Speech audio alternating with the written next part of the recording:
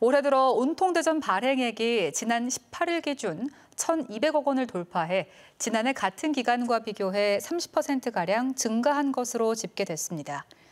대전시는 이달 들어 매일 천여 명씩 가입하면서 온통대전 총 가입자 수가 78만 명을 넘겼고 카드 발급도 100만 장을 넘겼다고 밝혔습니다. 또 이달 중 교통복지 대상자 5% 추가 캐시백과 지역 서점 도서 캐시백 10%, 전통시장과 상점과 추가 캐시백 등 다양한 혜택 때문에 발행 수요가 크게 증가한 것으로 분석했습니다.